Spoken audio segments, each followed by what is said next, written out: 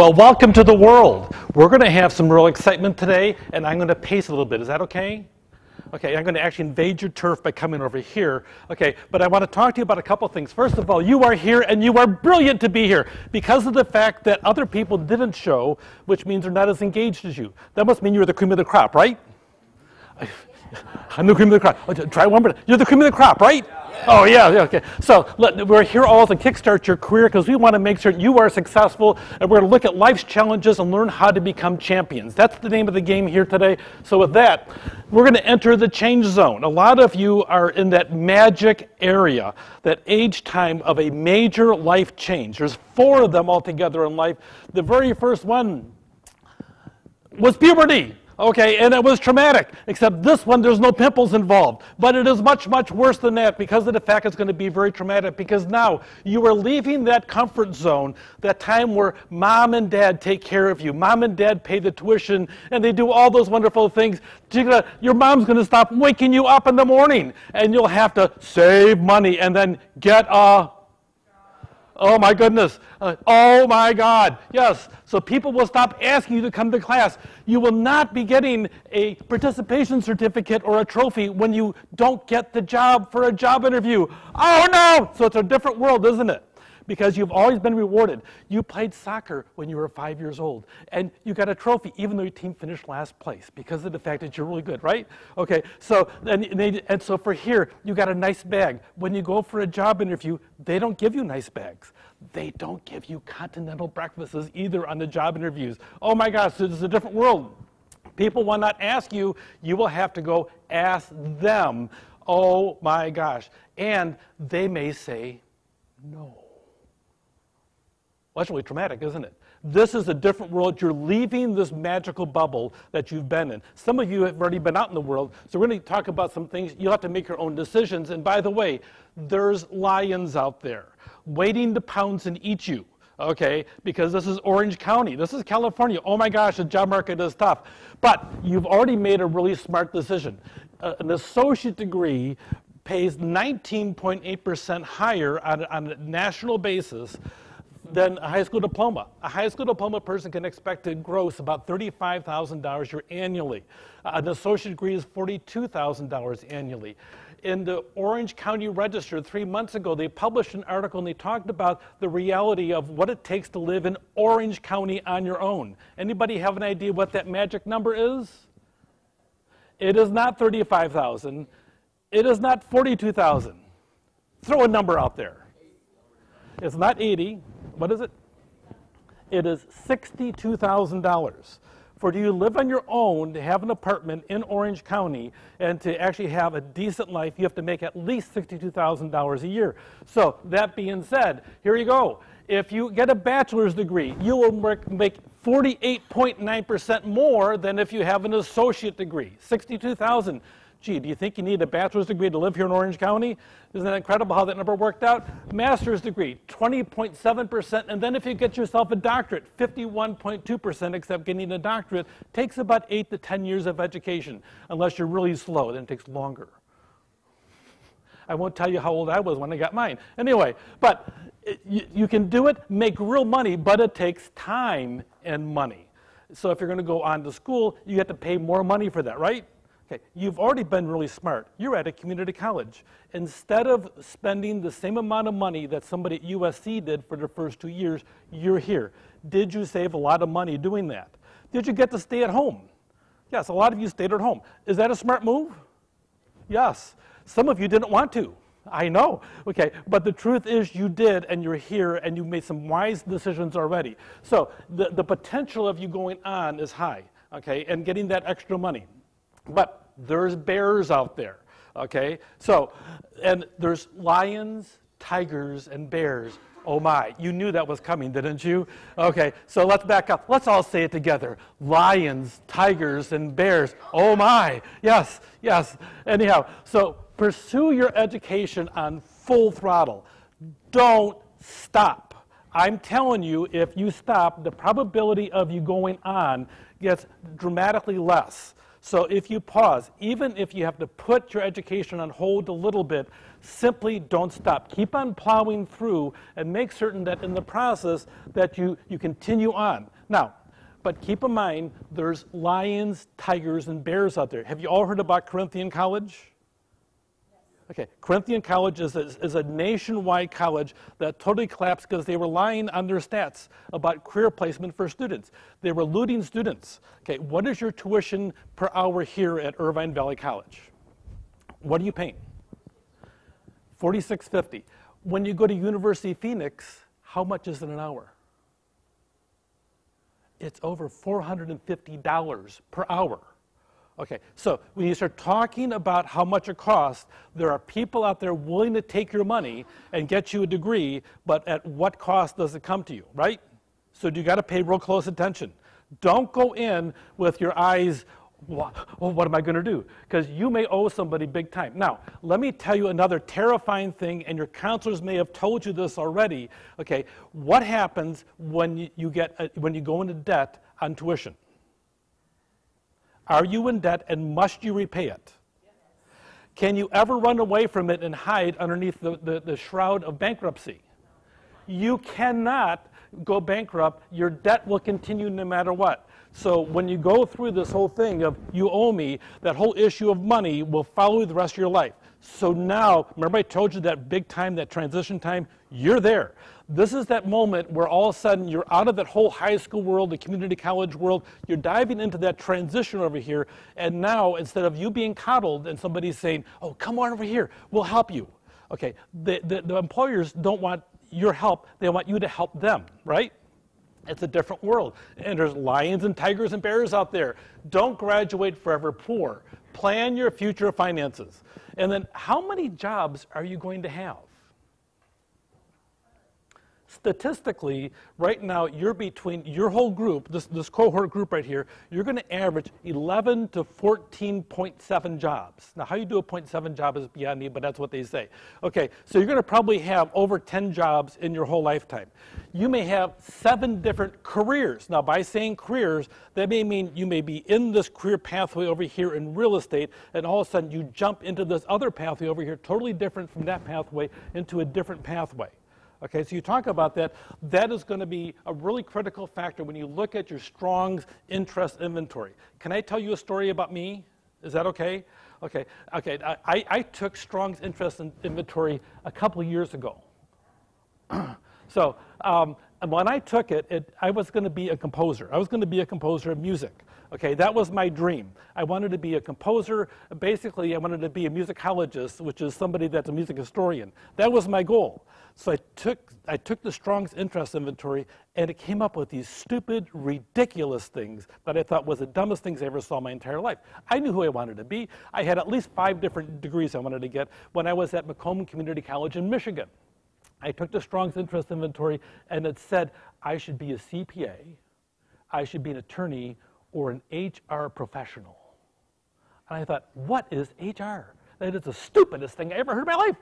And I really had that attitude. I was deeply offended at the Strong's interest inventory. Let me tell you that right now I'm the vice chancellor of human resources. I handle almost all the legal affairs for the district. I work between 10 and 14 lawyers every single month, depending on what topic I'm working on. And I've been the chief business officer for the district. Was Strong's right on? Yeah, yeah, right there. It's right there. Okay, so the reality is, will this thing sit there? What Strong does is measures your interest and matches them to the job market. There's really good information on that. So when you do that, don't suffer from no goal. Now, do you have the right to change jobs? Okay, just in case you need it, I now, I grant you all permission to change career pathways. Now, did you need my permission? No. Do you need your own permission sometimes?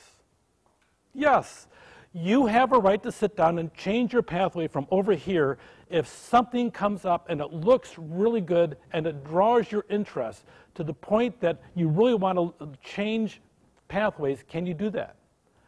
If everybody's planning for you to be a doctor and your grades are 3.2 average right now, let me give you a clue. You will probably not make it in medical school, right? I'm sorry. I, nobody ever told you that before. I'm telling you right now because I get to leave. Your counselors get to, pick up the pieces after I leave.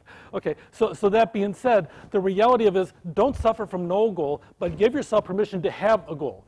job offers for real money. Here's another thing.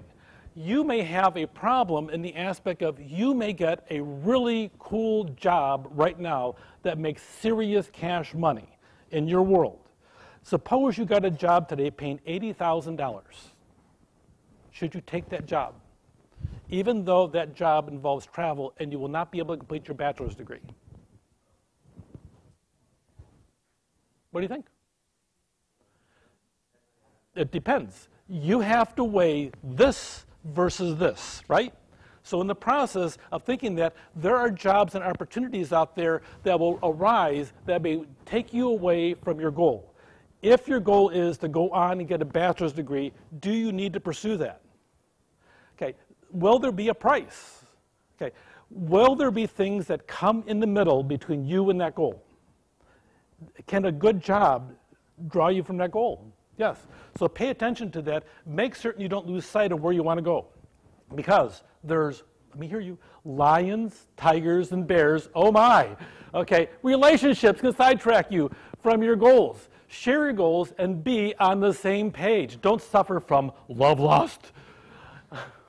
Now, have love lust. Feel free to have all the love and lust that you want. I'm not endorsing that, however, but that said, it, can a relationship draw you away from your ultimate goal?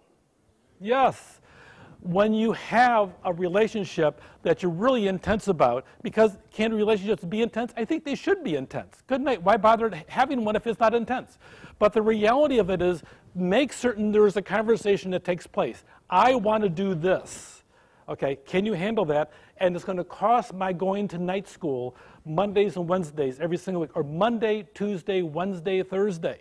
I'm fortunate I have this really cool wife. When I went back to get my doctorate, because I went back and I was in my 40s when I finished my doctorate, every single weekend, every single weekend, we were newlyweds, okay, every single weekend from Friday night all the way to Sunday night, I sat at a table and worked my dissertation for five months straight. It was miserable. She brought me food and everything else. I could keep on working and typing. It was very difficult, but we had to have a dialogue. That was a big deal. So, feel free to pursue love lust, except for the fact that make certain that you have the conversation that here's my goals, what I want to do. And by the way, you need to listen to the other person, what their goals are. Sometimes they may not match up, and sometimes the goals may conflict in that relationship. Other times it may be really good, but have the conversation. And then pursuit of things can derail your goals. Get your education first and career in high gear first. That pile of treasure. Oh my gosh. My son is a graduate from Saddleback College and Irvine Valley College. He played soccer here four years ago. Okay, he has a friend of his from high school, and his friend is collecting stuff. He is obsessed with cars and computers. Obsessed. Like he changes the cars like we change clothes. Okay, so with that, he hasn't finished his associate degree and he's 24 years old. Not my son, but this is his friend. And he hasn't finished anything except for the fact he's got a good job and he's got all the stuff, but he doesn't have a degree yet. Not very good, is it? This is a danger. Money, uh, love lust, and things because there's lions, tigers, and bears. Oh my, wait, I have an idea. Let's change the paradigm from lions, tigers, and bears to think, plan, do, oh yeah. That sound good? Can you say that with me? Think, plan, and do, oh yeah. I didn't hear the oh yeah very well. Let's try that again. Think, plan, and do, oh yeah. Okay, so think. Think about what you want to do, and then plan. I know planning is really hard to do. It hurts your brain sometimes. But think, and before you start acting, go through and plan what you want to do, how you want to get there. And by the way, do you have permission to change your plan? Yes. Do I have to give you permission? No. Can you get your own permission? Yes? Okay. And then implement the plan. A lot of people, they do this, they do this, and they think and they think and they think, and they never implement. So it's think, plan, and do. So the other part is get a group of wise counselors. Now, a lot of you are younger. Your parents, I hate to tell you this, they're actually smart. I, I mean, seriously, they're smart. And do you think your parents have your best interest in mind? Yes. Are they people you should listen to? Yes, yes. Okay. Are there other people? Okay. I, I, recommend that you build yourself a group of wise counselors that you go to for advice. And it may be somebody, if you read some of the movies, uh, how many of you are Star Trek people? Oh my gosh, you guys need to get on. Okay. James T. Kirk's advisor was who? He was a gardener at, at, at the university. Did you know that? He adopted a gardener. Can you adopt somebody that's totally unusual and different than you would expect normally to be your counselor? Are there people whose judgment might help you because of the fact they're not involved in your life? Yeah, sometimes it's really good. But build a group of wise counselors. And more education, understand everything before you sign. If you don't understand it, don't sign it. Okay? Now, I'm, I'm serious.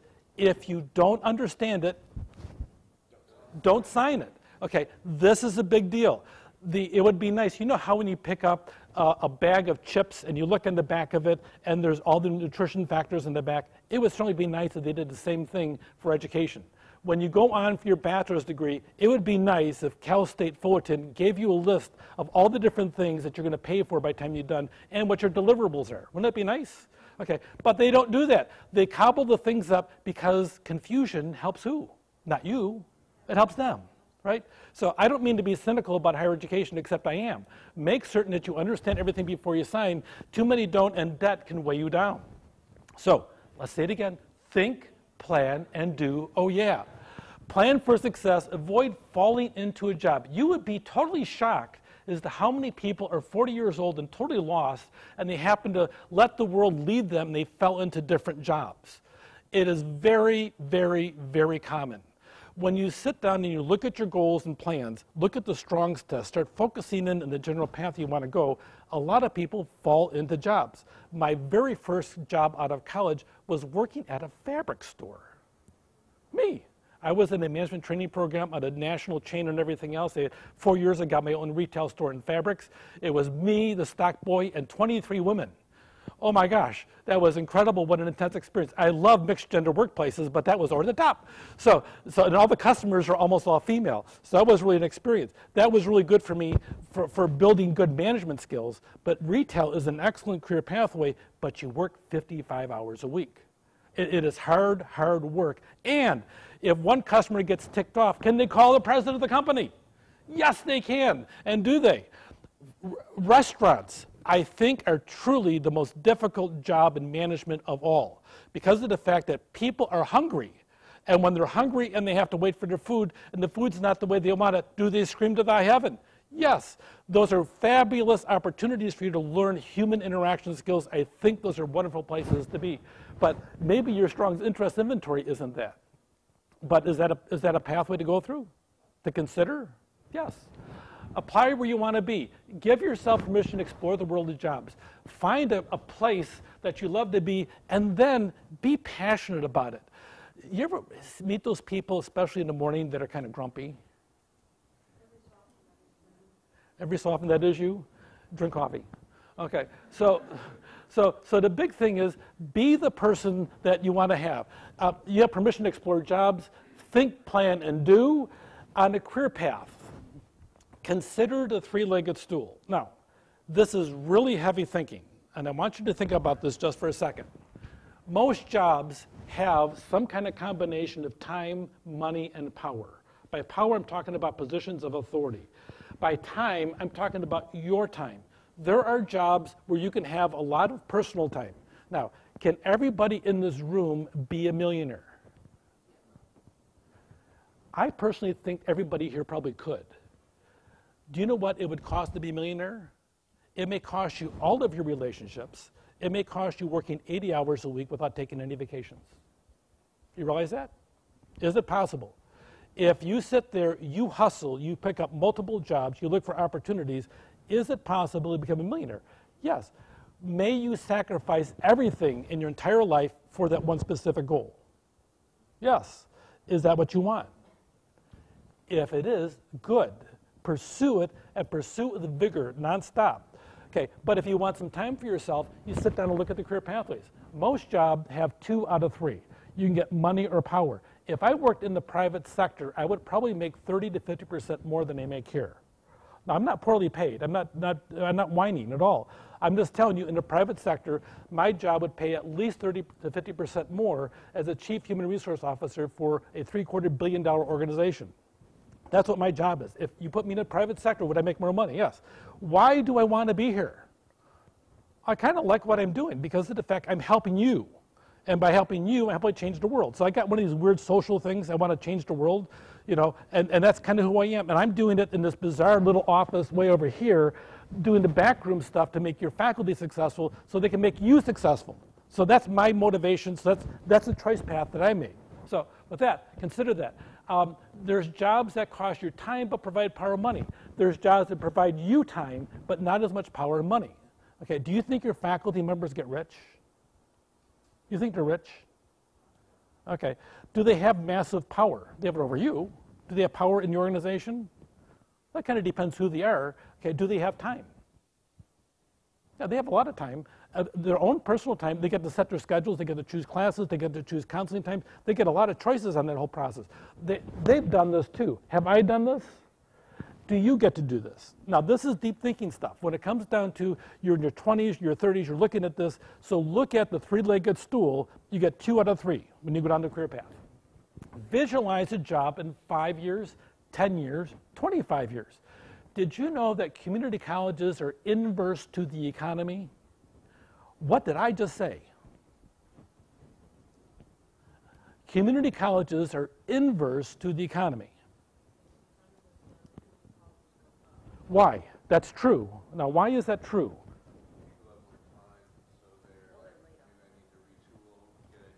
Yes, yes. Or there's no overtime available, so they come to work, they come to school. Okay. Now, what happens when the economy picks up? People don't have time to come to school because they're so busy working, or they're, they're going from full time status to part time status. So, community colleges are actually the inverse of the economy.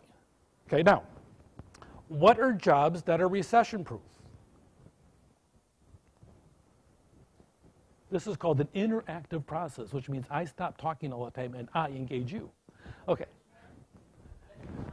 There will always be garbage men. There will always be need for doctors. There will always be needs for accountants. There will always be needs for nurses. There will always be need for baristas at Starbucks. Yes. Yes. Okay. Are there jobs that tend to be recession proof? Yes. Are there jobs that when the economy goes down, their job picks up? Community colleges, alcohol breweries, yes. Okay, but are there jobs that when the economy picks up, they pick up? Yes. What would be those jobs? Retail. Okay, retail goes boom. Retail now is exploding in a lot, a lot of different areas, except for the fact if you look at the stats, the retail for normal box stores is 1% to 4% higher, but the online is booming too, right? So is that a whole different pathway? That pathway simply wasn't there 20 years ago, was it? Okay, so is the world changing? So look for recession-proof jobs. And then when you land a job, be the best. I mean, why would you want to be mediocre? Would you want to be the best? And in all seriousness, you're IVC people, aren't you? Uh, I want you to look good. Do You want to look good? Okay, when you show up and you land a job, be the best, be the person you like to work with. Be positive, be friendly, be kind, even when nobody's looking. If you're not a positive person, you go to work lie. I mean, who wants to sit next to a grump? Does anybody want to sit next to a grump? Anybody? I don't see any hands raised. Does everybody like those people that are positive and full of energy? Yes. So even if you're not that person, okay, pretend you are. Okay? And then, then when, you, when you get a job, let me tell you, when you get a job, this is a big issue.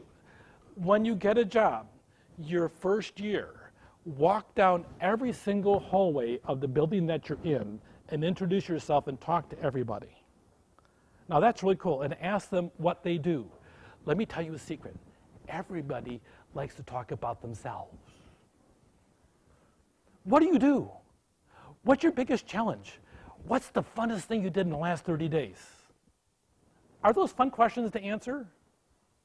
Yeah, everybody likes to talk about it. Well, I did this. And then act interested. You watched paint dry for seven hours? Wow, that was really good. And you watched a golfing channel. In my mind, it's about the same. You watch golf, you watch men take metal sticks and hit a ball on a green. Didn't do it yourself. Anyway, so, so uh, are, are people interested in talking about the things they do? Yes. Be that person, be that coworker. And then let's say it one more time think, plan, and do. Oh, yeah. And then this is your world and this is your time. So make it absolutely awesome. Thank you very much. Appreciate it.